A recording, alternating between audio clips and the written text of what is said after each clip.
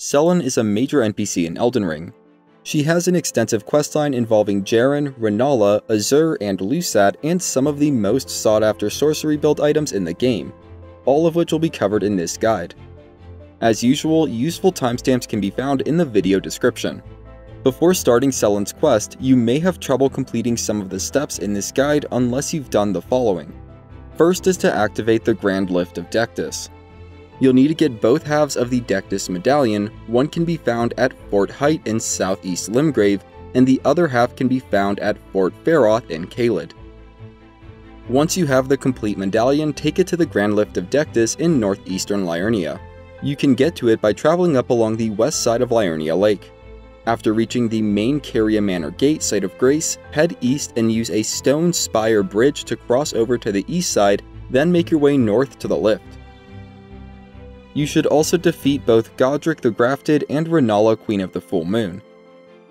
To reach Renala, you'll need to snatch a glintstone key from beneath a glintstone dragon at the map location shown on screen. Run away from the dragon and go use the glintstone key at the Academy Gate to gain entrance to the Academy of Raya Lucaria. At the end of the Academy is where you'll fight Renala. To begin Sellen's quest, you can find and speak with her at Waypoint Ruins in southeast Limgrave. Agree to be her apprentice, then go through any remaining dialogue. If you want, you can buy all of her sorceries to unlock some additional dialogue, but I don't believe it's necessary for completing her quest. What is necessary is to acquire the legendary sorcery Comet Azur. To find this sorcery, we'll first need to get to Seethewater River. The simplest way to do that is by traveling north from the Grand Lift of Dectus until you reach the Erdtree Gazing Hill.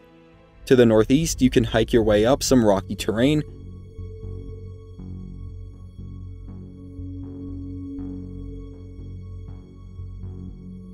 then travel northwest through Wyndham Ruins,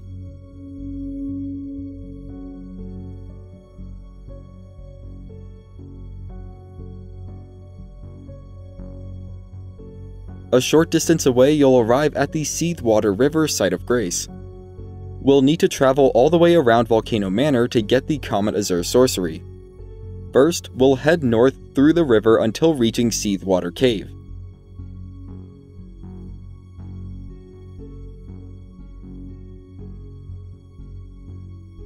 Once there, turn west and continue down the river towards Seethewater Terminus.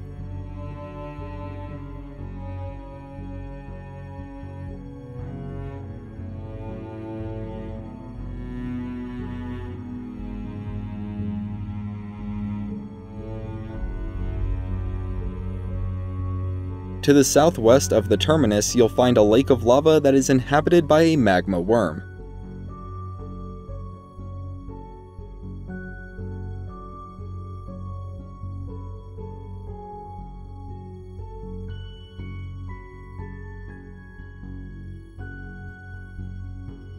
You can try to defeat the magma worm if you'd like, but it isn't necessary for getting the Comet Azur sorcery. Instead, just wrap around the lava lake and head southeast past some demi-humans.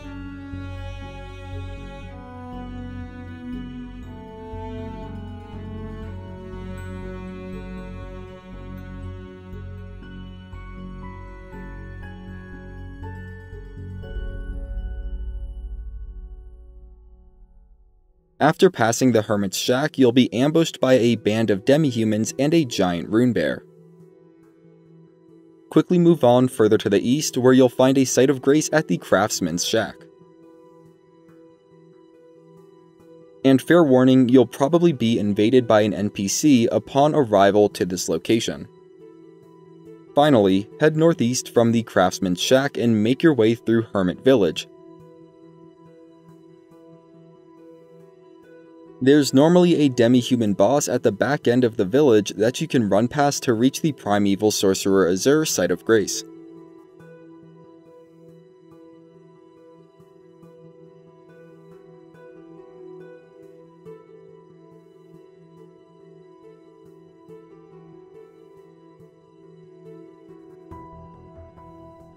Nearby, you'll find the primeval sorcerer decked out in green glintstone.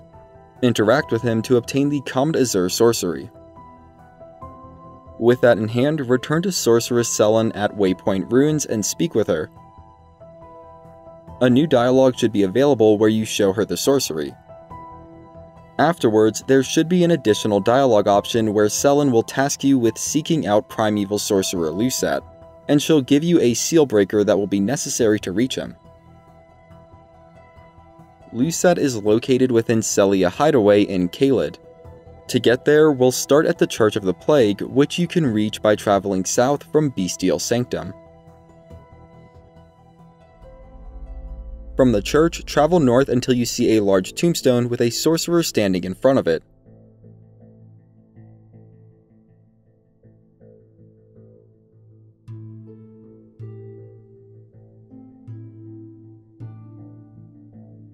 A false boulder is jutting from the cliff wall behind him and will fade when struck, revealing the entrance to Sellia Hideaway.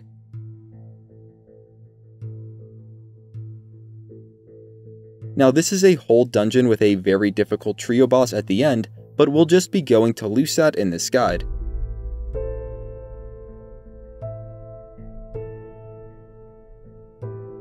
Make your way through two initial false walls to travel further into the dungeon.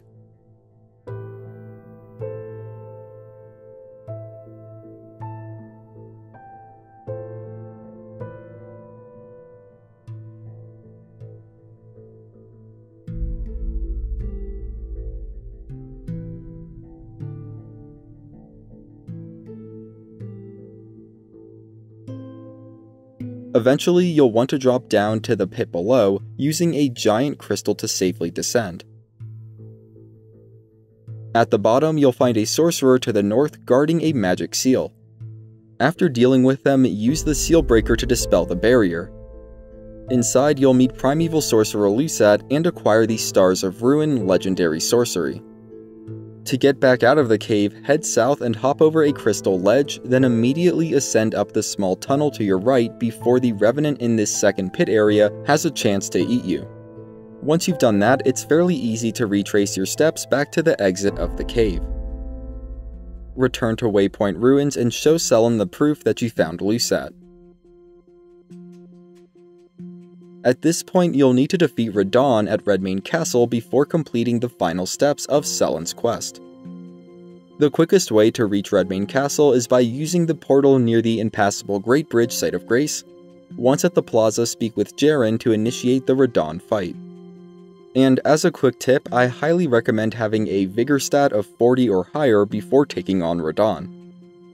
However you manage it, after defeating Radahn, you can travel to Waypoint Ruins to speak with Sellen, a new dialogue option will have her inform you that her real body is trapped in Witchbane Ruins, a location in western Weeping Peninsula, just south of the 4th Church of Marika. Unless you have Sellen at Waypoint Ruins specifically give you the task to retrieve her primal glintstone, her true body form at Witchbane will not recognize you. If you accidentally hit Sellen at Witchbane Ruins, you can repair the damage done by performing the Absolution ritual at the Church of Vows using a Celestial Dew.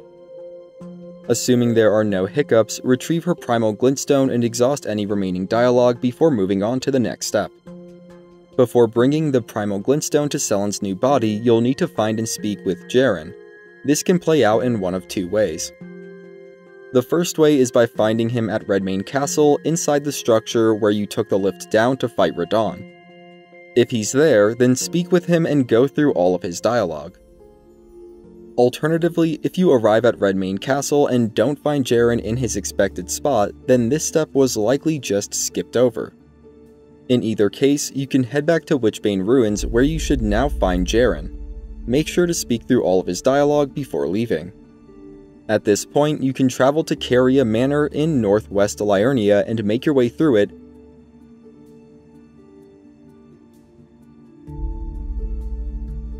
Defeat Royal Knight Loretta at the Royal Moon Gazing Grounds, and then head west to Ranni's Rise.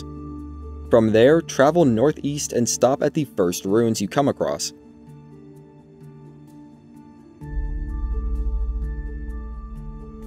There's a false floor hiding the entrance to a secret chamber. At the opposite end of the chamber, there's a false wall hiding Sellen's new body. Make sure to speak through all of Sellen's dialogue after the transfer is complete. and I want to reiterate that you will only be able to transfer Sellen's Primal Glintstone to her new body once you've spoken through all of Jerren's dialogue at Witchbane Ruins. And here is an important note for if you're trying to complete Sellen's questline late in the game. If both Sellen and Jerren can't be found at any of their locations, the questline may have automatically progressed to this next step. For that next step, travel to Raya Lucaria Grand Library. And this is the major decision-making point of Sellen's questline. Just outside of the library, you should find two summoning signs. The red summoning sign will have you challenge Sellen, effectively siding with Jerren. The gold summoning sign will have you assist Sellen against Jerren instead. If you successfully defeat Sellen, then you will be rewarded with Sellen's Glintstone Crown and Bell Bearing. Afterwards, you can head back outside to where the summoning signs were to find Jerren. He'll give you an Ancient Dragon Smithing Stone as thanks for your help, and upon reloading the area, he'll be gone. If you want, you can take this opportunity to attack him and get his armor set. However, I would advise against that as Jerren's parting words strongly suggest that his story is not finished and that you'll be able to meet him again in a future update or expansion. And if you chose to go down this path where you challenge Sellen, then this is basically the end of her quest and any rewards that you'll get from it. On the other hand, successfully assisting Sellen will immediately reward you with Jerren's armor set. You can then speak through all of Sellen's dialogue after the fight to get the Glintstone Kris and to have the Shard Spiral spell added to Sellen's shop. If you've already found Lusat at this point, you can reload the area and Renala will return to her rightful place, meanwhile Sellen will have undergone an unexpected transformation. Find her altered form near some of the book stacks to pick up Sellen's Glintstone Crown. After this, you can head back to Azur's location to acquire his armor set and you can also go back to Lusat's location to get that armor set as well. Each of their glintstone crowns increases the potency of primeval sorceries, the main examples being Comet Azur and Stars of Ruin. And once more, if you sided with Jerren, you unfortunately cannot get either Azur's nor Lusat's armor sets. And that's about it for Sellen's questline. If you're still having trouble with this quest, you can reach out in the comments section where I'll do my best to help, I also recommend checking the comment I have pinned as I'll be updating it with information about specific problems people are having and potential solutions. I'm working on guides for all the major quests in Elden Ring. If you want to find those, you can head over to my channel, and if you're new, consider subscribing. You're helping me feed my cat. Her name's Marshmallow. Have a great day. If you're here today, have a great Saturday, and as always, thanks for watching.